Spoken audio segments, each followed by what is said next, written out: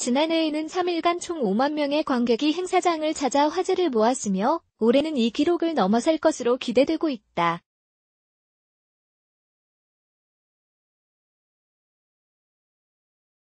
스바루 코리아가 스바루의 스포티하고 역동적인 이미지를 부각시키기 위한 문화 마케팅의 일환으로 오는 30일부터 다음 달 1일까지 경기도 이천시 지산 포레스트 리조트에서 열리는 지산밸리 록 페스티벌 2010에 스바루 차량을 전시한다고 밝혔다.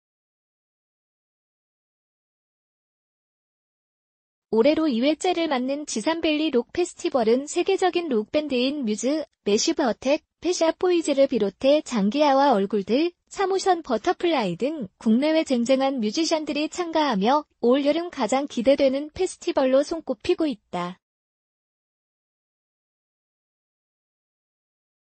스바루 코리아는 행사장에 2010 attractive attack 스바루를 컨셉으로 파티 분위기를 연출하는 black and white 톤의 부스를 설치하고 대표 세단인 레거시와 CUV 모델인 아웃백, 도시형 compact SUV인 포레스터 등 블랙 색상의 차량 3종을 전시해 록 페스티벌에 참여하는 20에서 30대 젊은 층을 적극 공략할 계획이다.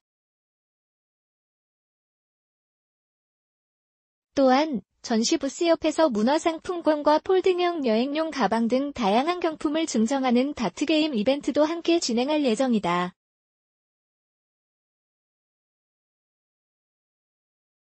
지산밸리 록 페스티벌 2010에 전시되는 2010년형 레거시는 스바루의 대표적인 중형 스포츠 패밀리 세단이다.